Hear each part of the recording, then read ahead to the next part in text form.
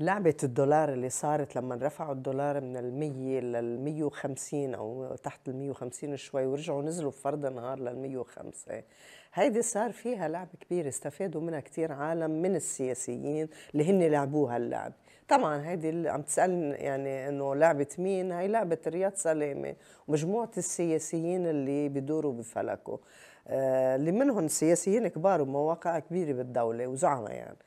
وعندهم صرافين كلهم عم يشتغلوا لحسابهم. يعني بينت هيك اليوم وقت انكمشوا مجموعة الصرافين اللي عم بيضاربوا بالدولار بينوا إنه تابعين يعني من الأسامي بتعرفهم تابعين.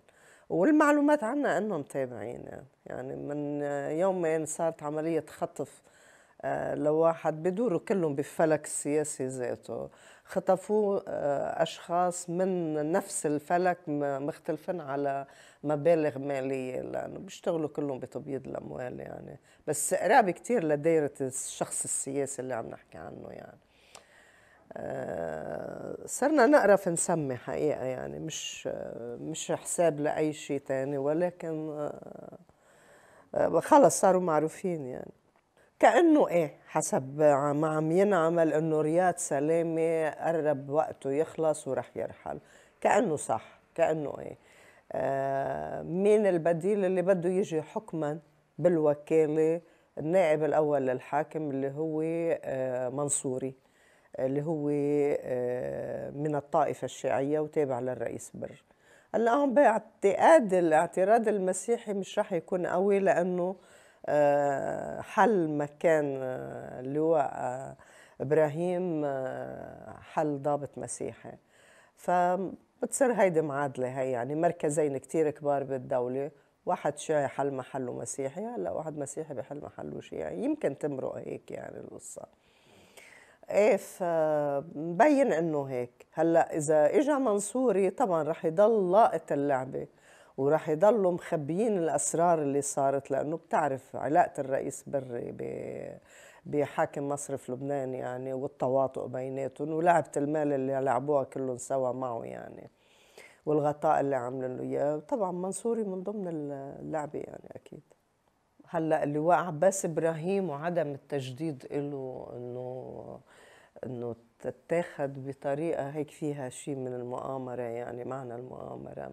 ما باخذها كثير هيك يعني. أول شيء لواء عباس إبراهيم بتكلف بمهمات كوسيط يعني. مش أول لبناني بيدخل بوساطات بين آه، جهات وبين دول وبين شغلات. في كتير شخصيات لبنانية مهمة بس يمكن ما كانت تحت الضوء مثل ما هلأ بالنسبة للواء عباس إبراهيم. إن كيف ما راح وإجا كان في كاميرات وفي ضوء وفي أخبار وفي تلفزيونات عم بتغطي وإعلام عم يحكي وهي الشغلات. بنعرف نحن مركز آه، مدير الأمن العام بيبقى آه، في فاتح علاقات مع كل وسائل الإعلام بياخذوا رواتب شهرية كلهم من الامن العام ولا يغطوا نشاطات الامن العام. فمن الجملة كانوا يغطوا. هلأ في كتير وسطاء شخصيات لبنانية بتاخذ بتدخل بوساطات بين لبنان وبين دول كبرى بالعالم آه، بس ما بتبقى ظاهرة بالإعلام ومعروفة. هلأ هو لاعب هالدور بضل في يلعبه لأنه مش مرتبط بمنصبه كمدير عام الامن العام.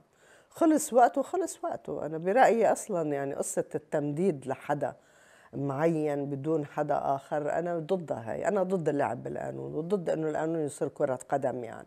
بتقطفوا مثل ما بدك يعني. فاذا بدنا نمدد له خلينا نعمل قانون آه، نمد سن التقاعد لكل المسؤولين. نحن نمد سن التقاعد بشكل عام لكل موظفي الإدارة والأمن بلبنان. وبهيدي الحالة فيش داعي نحن نكسر قانون خصوصي كرمال حدا. بالذات من ما كان يكون عم بحكي بغض النظر عن صفات الشخص يعني وأهميته. اللي صار حول قصة التوقيت الصيفي والشتوي. يعني صار في خطأ من كل الناس. اللي اللي عملوا بر ومئاتي يعني منظرهم هن قاعدين عم يمزحوا مع بعض وينكتوا ويحكوا بطريقة. أول شيء هيدي هيدا قانون. وهيدا بينعمل بجلسة لمجلس الوزراء جلسة جدية. وأنا بتفاجئ لما بيبقى أحيانا ببعض الجلسات بتبقى في ناس عم تتصهصن وفقعانه بالضحك وهيك. بالعمل ما في ضحك ومزح في جد. لما جلسة مجلس وزراء بتقعد بتناقش قانون والله في ظروف معينة بدنا نلغي التوقيت كليا نحن تعديل التوقيت أنا على فكرة مع إلغائه كليا هيدا لأنه أنا كتير مزعج بالنسبة لي بلاقيه. يعني بغير لي مزاجي كله على المستوى الشخصي يعني. أضف إنه نحن غير أوروبا وغير الغرب يعني. الغرب عنده النهار 20 ساعة. يعني بتطلع الشمس الساعة 4 لتغيب للساعة 11 مساء. نحن ما عنا هيدي المشكلة بغض النظر. لما قعدوا ينكتوا بهيدا الشكل وكأنه هن لويس الرابع عشر. يعني لويس الرابع عشر كان إنه أنا القوة أنا الحق أنا القانون نظرية الحق الإلهي بيقدر يعمل اللي بده إياه يعني ولا ينطق عن الهوى. بيتصرفوا هيك هن. ليش كبراني براسهم هالقد؟ ليش ليش بعض اللبنانيين لما بيوصلوا بيكونوا بمنصب معين فعلا بكنفشوا بينفشوا ريشهم وبفكروا حالهم لويس الرابع عشر؟ شو هي هالعقدة هاي؟ مش عم بلاقي لها سبب الا إلا إنهم جايين من بيئات آه ضعيفة يعني. من بيئات متواضعة. هيك بيكبر راسهم بيفتل يعني. مش بيكبر بيفتل بيبرم راسهم. عشة وازن هلأ كانوا كتر المنظر مستخف بالناس فينا كشعب نحن. كمواطنين بنحترم الدولة بنحترم القانون. هلأ بيبقى ردات الفعل إنه صار في حدا عامل التوقيت الصيفي مسيحي والتوقيت الشتوي مسلم. كانت كتير كبيرة كتير كتير كبيرة. ما بعرف من بلشها. إذا القوات أو مدري مين بلشها أو شيء وفات فيها البطرك وفات فيها زعماء وطنيين يعني مثل مثل جبران باسيل يعني بيمثل تيار وطني ما له علاقة بالطائفية. كيف فاتوا فيها كلهم هاي؟ أنا بصراحة آه، كثير كثير كنت متضايقة ومزعوجة. أول شيء ما بدها هالقد يعني. فيهم ينتقدوا مثل ما عم ننتقد قصة الساعة إنه ما فيكم تستخفوا بالقانون تفضلوا روحوا على مجلس الوزراء وعدلوا اللي بدكم تعدلوا. هي وحدة يعني. اثنين إذا قصة التعديل مرتبطة ببرامج للدولة بارتباطات لشركة طيران الشرق الأوسط لشركات على تواصل مع الخارج يعني في سيستم طويل عريض ممكن يتغير وهيدي الأمور مفروض تستشيروهم وتشوفوهم كلهم وتعملوا دراسة حجم الضرر اللي ممكن يلحق بهاي الناس إذا آه، أخرنا تغيير الساعة. وحجم الضرر إذا آه، يعني بدها تنحسب هيك مفترض يعني إذا دولة رصين ومحترمة ورجال دولة محترمين. على كل حال صار اللي صار أنا ضد ردة الفعل بالكامل. هلأ بصراحة بالنسبة للوزير باسيل والكلام اللي قاله كلام أبدا مش مقبول. قال هيدي مش طائفية وما حدا يجرنا على الطائفية وقال نحن العرب حوالينا ما فينا نكون عكسهم أو شيء من أنه موضوع تاني. بس يقول نحن مع المتطورين والمتمدنين وغيرنا مع المتخلفين والرجعيين. أول شيء نحن وهن بالخطاب السياسي الوطني بشعة. يعني بنتقد أوقات بعض الشخصيات السياسيه اللي بحبها بالدولة لما بتقوم تخطب خطاب وبتصير ترد إنه قالوا كذا ومنرد كذا. أنا كثير بتزعجني هاي بحسها بتصغر الشخص اللي عم يحكي. وعادة إذا حدا بعرفه ببعث له أخبار إنه عم تحكي آه، رد بدون ما تقول عم رد على فلان أو إنه قال فلان هيك وأنا برد هيك أو قيل هيك قالوا قالوا إلنا يعني بحرب يستعملوا الواو الجماعة آه، بشعة وبتقلل من قيمة الشخص هلأ لما حكى الوزير باسيل بهن ونحن مين هن ومين نحن؟ يعني قصدت نحن اللي مع التغيير مع إنه التوقيت يضل مثل ما هو بحسب القانون. هن يعني قصدت بس مئاتي وبري والله كل المجموعات الناس اللي كانت مأيدة لأنه الساعة يتأخر تغييرها يعني. هيدي ما فيك تحكي هيك وهيدا الكلام معيب. كلمة هن ونحن مثل ما بنحكي عيب. بعدين يعني عم نحكي عن المتطورين والمتمدنين مين؟ اللي 120 سنة كل الحروب اللي صارت بال 120 سنة الغرب مسؤول عنها اللي قتل فوق ال 20 مليون آه، إنسان على وجه الكرة الأرضية من بهول 20 سنة الأخيرات اللي هي سببها الغرب. ملايين الناس اللي قتلتهم أمريكا باليورانيوم المنظم هول المدنيين والمتطورين.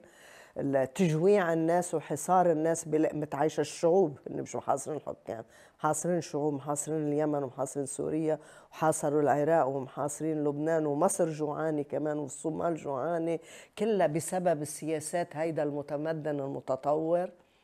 كيف؟ شو يعني متمدنين ومتطورين؟ بأي معنى يعني؟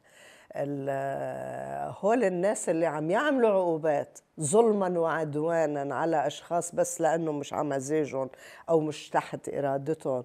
ظلما وعدوان والبصير ما هو ما هو ضحية هيدا التمدن والتطور تبعهم ضحية المتطورين والمتمدنين. مثل عدد كبير من الرجال الأعمال الشيعة فقط لأنه شيعة وفقط لأنه ممكن يشكلوا ورقة ضغط على بر على حزب الله. آه، حطوهم على لوائح العقوبات. طيب هيدا التطور والتمدن أي متطورين ومتمدنين؟ أي تطور. نحن هول بالعكس نحن لازم نورد لهم جرعة من الروحانية السيد المسيح اللي عنا. لا حتى لأنه لو عندهم شيء من روحانية السيد المسيح ما بيفجروا بالعالم هالفجر كله. ديناصور فلتان على العالم الغرب كله يعني. مين بدك تعد لتعد؟ أمريكا بريطانيا فرنسا آه كلهم. كلهم هول هالفلتينين هالفلتة على العالم وخاربين الكرة الأرضية كلها خاربين العالم. هي طبقة الأوزون كمان متطورين ومتمدنين. ما بنعرف شو يعني التطور والتمدن. مش نحن اللي بنحكي عنهم هيك. وأنا بدكم رأيي أنا مع آه، نحل هي عقدة الغرب الأجنبي. نحن أحسن منهم بمئة مرة. على المستوى الإنساني والأخلاقي والقيمي نحن أحسن منهم. وأفضل منهم. ونحن لو صرنا ظرف وقدرنا نبني قوتنا ما يمنعونا هن ويدمرونا. كل يوم بالتاني بيهجموا على بلد وبيدمروا. كم بلد صاروا مدمرين؟ عنا بالشرق. دمروا العراق ودمروا سوريا ودمروا اليمن. وعم بدمر هلأ لبنان ما دمروه بالعمار بس دمروا له حياته للبناني. هن هول بشراستهم وبعدم يعني شو بدي أقول؟ بتطرفهم ضد الأخلاق وضد القيم هول نحن حلنا نخلص من عقدة الغربة يعني. نحن أحسن منهم وأفضل منهم ولو نحن يشيلوا إيدهم عننا ويصيرنا فرصة لنتطور ونتقدم ونقدر نبني دولة حقيقية كنا أكيد دولة أخلاقية. مش ممكن نكون دولة عدوانية مثل ما هن عدوانيين. إذا وصلنا لمطرح من القوة لا يمكن نستعمل نفس الوسائل اللي بيستعملوها.